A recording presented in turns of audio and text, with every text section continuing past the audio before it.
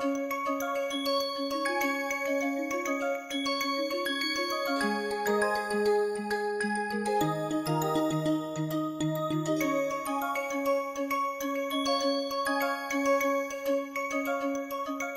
the thing about biology which makes it challenging is that you know it is uh, sort of complicated and it is complicated at various different levels.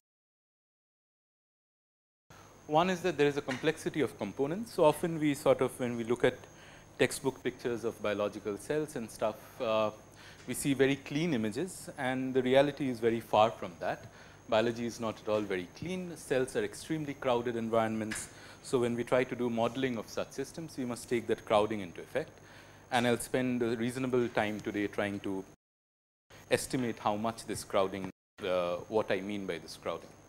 So, there is a complexity of components, there is a complexity of spatial scales. So, it takes place over various scales which is what this sort of video tries to show starting from macroscopic features like you know the whole organism going up to the DNA and chromosomes and so on.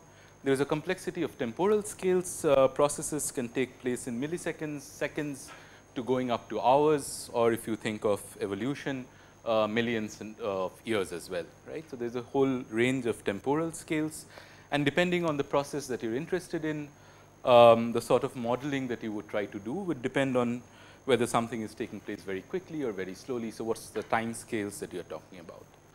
Further, there is a complexity of feedback loops, everything talks to everything else. Uh, the DNA can produce a protein, uh, DNA goes to RNA goes to protein.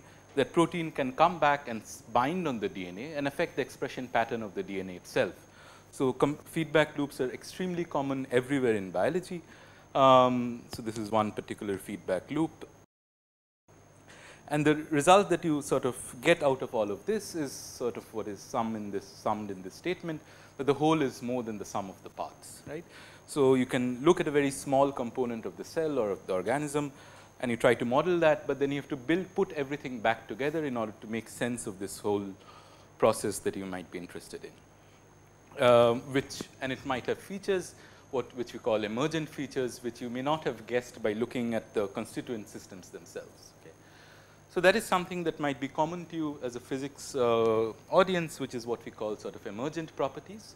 And one of the simplest examples uh, one might think of is that of random walks so, here is a cartoon of a random walk, many, many particles undergoing a simple random walk.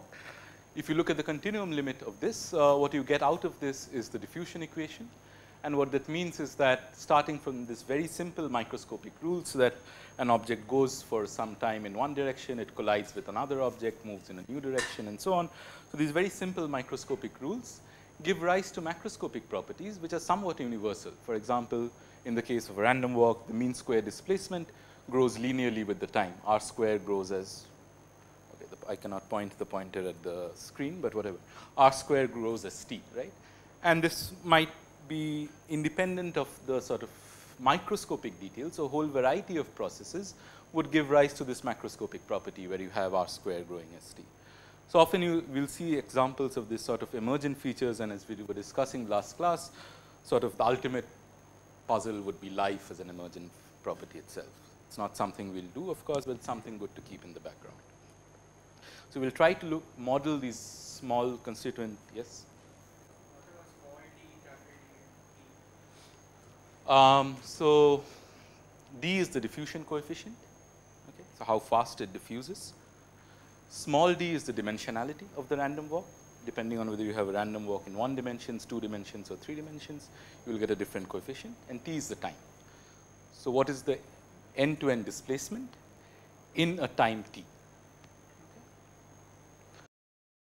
And that follows this very r square. So, if I forget about the prefactors, the main physics is contained in this r square going as t to the power of 1. And you um, so, the plot is actually for random walks of certain proteins on DNA. This is a 2006 paper.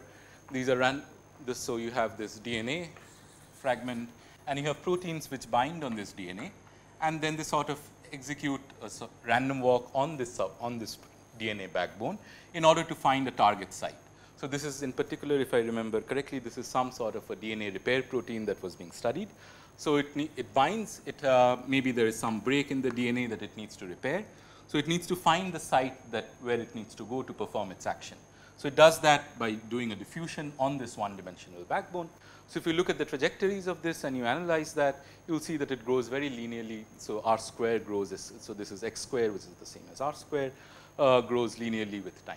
Okay. The x axis is time and these different plots are at different pH conditions and so on. So, simple things that we learn in sort of physics, diffusion, uh, uh, for example, diffusion, you would find them applicable, very nicely applicable to various biological contexts. All right. So, let us look at these things that we talked about, crowding, spatial scales, temporal scales, one by one. So, here is a nice video, uh, sorry, here is a nice video which sort of tries to illustrate what we, what I mean when I say that cells are crowded. Uh, let me right. So, this is what an artist's reproduction of course, uh, but realistic in that sense of what the interior of a cell would look like. You have these, I do not know why the video quality is so bad. Uh, you have these long sort of uh, objects which are microtubules. I will talk a little bit more about them. But and these small things are various proteins, small ions which are crammed everywhere inside the cell. Right? So, whenever we think of this canonical picture of a cell, I th think of this I have a nucleus maybe and I have some Golgi, I have some ER, I have one or two things like this. The reality looks something like this. If you were to transport a protein from one place to another place, um, you would have to do it through this extremely crowded environment. So, what we will try to do first off is try to estimate numerics, try to get a handle of the numbers of what I mean when I say the cell is extremely crowded. And to do that, the system that we will choose is one of the canonical biological model organisms, which is the E. coli bacteria. Um, so, here is a single E. coli cell. Uh, this is an AFM image. Uh, you will see this sort of small hair-like things, which are the pili, pili or pili, and then there will be these long sort of strands, which are the flagella, which the which the bacteria use to sort of move around. Again, I will talk a little bit more about them. So, if I want to get a sense of the uh, scale of this image, uh, so this is the same E. coli cell, uh, an electron micrograph of that. Typically, it would be around 1 micron on this side and 2 microns on that side.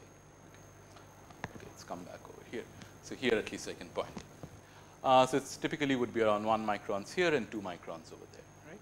So, this is like the standard ruler for biology. Uh, the E. coli cell roughly is of, of the 1 micron in size. All right. So, simple. Uh, the first thing that I ask is that what is therefore the volume of an E. coli cell, right?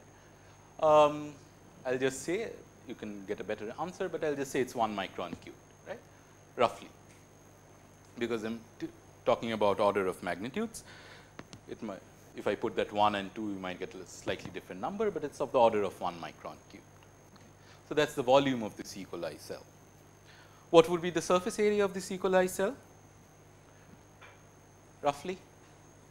So, an E. coli cell maybe I could say that uh, depending on what if I want it to be a bit fancy, I could say that well it is like a cylinder and capped with two hemispherical caps right. Um, this is roughly of the order of a this is roughly 2 microns, this is roughly a micron. So If I wanted to calculate the surface area, what would the surface area be roughly?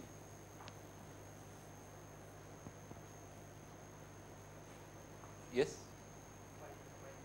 Something like that, 5, 6 micron square, right? I think this number is giving me some 8 micron square. Does not matter of that order. All right. Um, so, then let me assume that the density of this cell is the same as the density of water. It is not really true, it is slightly higher than water, but water has a nice number 1 gram per cc. Um, so, let me use that for the time being. So, then I can ask that what would be the mass of an E. coli cell along with all of its constituents. So, what would be the mass of this E. coli cell? given that it has a volume of 1 micron cubed and a density of 1 grams per cc, 1 nanogram. So, 10 to the power of 9 grams. Does that work out? Anyone else? Picogram, I think that is the right. So, if you do it correctly, it turns out to be 1 picogram, 10, 10 to the power of minus 12 grams. Okay. So, it is very tiny as you would expect, it is a single E. coli cell, it is 1 micron in size, it weighs 10 to the power of minus 12 grams. Okay. So, now let me use an experimental result. So, here is what experiment says that uh, the dry weight of the cell is about 30 percent of the total weight and dry weight is everything proteins, DNA, all macromolecules inside the cell, the rest is water. So, 70 percent is water, 30 percent is this dry weight. And further experiments also tell that around roughly half of this dry weight comes from proteins. So, 15 percent of this total weight comes from proteins. So, if I ask that what is the total protein mass of an E. coli cell, that would be 15 percent of this. So, around 0.15 picograms. So, what I basically want to know is that here is one single E. coli cell of 1 micron size. The mass of the total amount of proteins that it has is around 0.15 picograms. Okay. So, how many proteins is that? Okay. So, that is what I want to sort of estimate, because I want to get a sense of the crowding that is involved. I want to get a sense of the numbers. Okay, to convert from this mass to sort of numbers, I need to know typically about what are the typical protein masses and so on. Um, so, okay, so here is, so I will digress from uh, E. coli for one slide just to show you. So, this is the smallest human protein, it is insulin uh, which regulates your sugar and which we talked about last class. So, insulin contains 54 amino acids. This is as far as I know this is the smallest human protein. Anyone knows which is the largest human protein? Any idea? Okay, so the largest human protein is one that is found inside the muscle. It is called titin and that has 34,000 amino acids. So, that is the range that we are talking about. 54 on one side for um, insulin and 34,000 for titin. It is a multi-unit protein, titin. It helps you in extending and flexing your muscles. So, of course, we know what the proteins inside a human cell are and you can plot a histogram of these. So, here these are my two sort of extreme boundaries, but you can plot a histogram. So, here is a histogram of Homo sapiens protein lengths um, and here is the reference. Um, so, here is the protein length in amino acids, it just goes up to 2000. So, you can imagine titin would be much to the right of this, but there are very few proteins that are so large. Most of the proteins reside in this range 200, 300, 400, 500 amino acids. if you work out the numbers, uh, the average length of a human protein comes out to roughly around 485 amino acids. And the average mass uh, of a human protein comes out to around 53 kilodaltons. And Dalton is like 1.6 into 10 to the power of minus 24 grams. Okay? So, it is a 1 AMU. So, that is for humans. Uh, you can do a similar analysis for E. coli um, and I'll expect you to do it as part of the assignment I'll upload today. Um, so, if you do it for E. coli, uh, the smallest E. coli protein is 43 amino acids, the largest E. coli protein is around 1538 amino acids. If you calculate the average length, that comes out to around 300 roughly. So, it is not that different from a human. So, it is not that proteins get much larger as you grow, the organism grows in complexity. The average size of an E. coli protein is 300, the average size of a human protein is around 485. And you can further, so I'll take this number as the average size. Further, I'll take the average mass of any amino acids is around 100 Daltons. This is again an approximation. So, these are the actual masses of the 20 different amino acids. So, you'll see different numbers uh, 89, 174, 132, roughly like that. If you do a proper averaging, I think it comes to around 120 or so. Again, just for simplicity to make our life simple, let me say that the average mass is 100 Daltons. So, these are the numbers that I will use that average length of a E. coli protein is 300 amino acids, the average mass of an amino acid is around 100 Daltons. Okay. okay. So, yes. Why was it peaking at some points? So, that is not really the end. Uh, over here, you could continue. So, this is like one peak like this. There are some proteins around that, but this 2000 is not the end of the human amino acids. Like I said, it will go up to 34,000. I have just shown up, this plot just shows up to 2000 because the numbers become really, really small after that. So, it just so happens, I do not know why it happens, it just so happens that there are some proteins around this molecular, around this uh, length of around 2000 amino acids. But then there is a small peaks here also, random fluctuations, I imagine. Okay, so now, now, armed with this information, I know that an E. coli cell has a total protein mass of 0.15 picograms. I know that an average protein is 300 amino acids length and each amino acid is 100 Daltons, which means that the average mass of a protein is around 30 kilodaltons, which is around 5 into 10 to the power of minus 20 gram. So, now I could ask that therefore, what is the approximate number of proteins inside an E. coli cell? So, what is that if I use these numbers quickly? 0.15 picograms and each protein is roughly 5 into 10 to the power of minus 20 grams. These are all rule of thumb estimates. Uh, we just want to get a sense of the numbers. So, what would be the number of proteins that you would get? Huh? Somebody said something? 300 million? You were saying something else? Million, roughly like that? Okay. 3 million. Million is 6 zeros, right? Million is 6 zeros? Yeah. So, 3 million roughly. So, 0.15 into 10 to the power of minus 12 grams and each protein is 5 into 10 to the power of minus 20. So, hopefully if I have done it correctly, it is around 3 million proteins. Okay. So, that immediately gives us a sort of sense of the crowding that is involved. You have the cell which is 1 micron small in that sense that contains 3 million proteins roughly. So, you can imagine that the correct picture would be to have you know all this whole thing is going to be a soup of proteins. You cannot take one step without hitting 10 other proteins. We can do more estimates like this. So, for example, if I talk about uh, ribosomes, uh, remember we talked about ribosomes last class. Ribosomes bind on a RNA and it produces the protein, right. So, it is that it's that big factory which binds onto RNA and produces the amino acid, joins together the amino acids to form the proteins. You ask me. So, that protein is the ribosome and again from experiments we know that around 20 percent of protein mass is ribosomal proteins. Um, and the ribosomal protein is roughly 830 kilodaltons uh, and it has a diameter of roughly 20 nanometers. So, you could then estimate the number of ribosomes that each E. coli cell would contain, a single E. coli cell. So, this is the total number of all possible proteins combined. This is one single type of protein, the ribosome. So, that single E. coli cell would contain around 20,000 ribosomes if you put in these numbers back. You could also ask if you know the diameter of the ribosome, you could also ask that well what is the volume fraction of this E. coli cell that is occupied by these ribosomal proteins.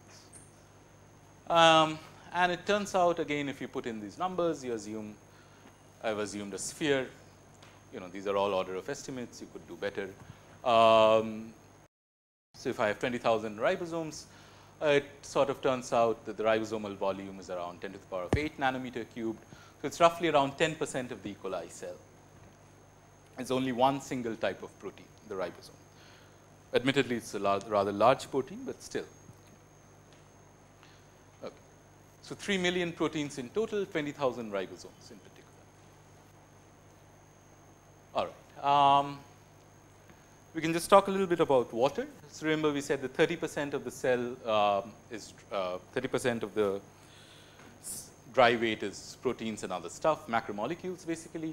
Uh, remaining 70 percent was water. So, you can estimate, so water is 0.7 picograms therefore. Um, and then you can estimate what is the approximate number of water molecules. What is the approximate number of water molecules? What would be the range million, billion, trillion? What is the molecular weight of water? 18 grams per mole, right? 18 grams per mole. So, you convert that 1 mole is 6 into 10 to the power of 23 uh, 23 number of molecules. Uh, So, if you put in all of this 18 grams per mole 6 into 10 to the power of 23 0.7 picograms, you get 2 into 10 to the power of 10 which is uh, 20 billion, 20 billion water molecules, 6 million proteins, 20 billion water molecules. Um, you could also estimate small ions like sodium, chlorine, things like that. Um, the typical concentrations of small ions are around roughly 100 millimolar. Again, if you put in that number and you calculate the number of small ions, that comes out to around 60 million. 6 million proteins, 60 million small ions, uh, 20 billion water molecules, all sitting inside that 1 micron cubed volume. So, here is, uh, so if you go to Rob Phillips, uh, he has an estimate for all other different types of uh, species, RNA, DNA, lipids, proteins, inorganic ions, which we calculated and so on. So, the inside of a cell actually looks, well, even this is much more dilute than it, what it actually is. But the point is that it's extremely, extremely crowded. So, whenever you're trying to do physics of objects within this, uh, within an environment like this, you need to take into account this crowding. It will affect the physics if you want to go from one point to another through diffusion and you are living in such a crowded environment that will affect the time scales of processes that you are calculating. So, that is something to keep in mind always. If you are not, you should at least realize that that is an approximation that you have made and that is subject to changes if you take into account this crowding. It also leads to various other interesting effects like the depletion forces and so on, which we will again talk about as the course progresses. Um, ah, so, this is just that in numbers. This is again from Rob Phillips. Uh, it has various uh, number of molecules of various species, transfer RNA, phospholipids, this, that. Okay. Um, why did we not? So, here is another important point. So, why did we just do a rule of thumb estimate? Um, because it does not make sense to do too accurate an estimate and that is because these numbers are constantly sort of it's not that these numbers are sort of set in stone.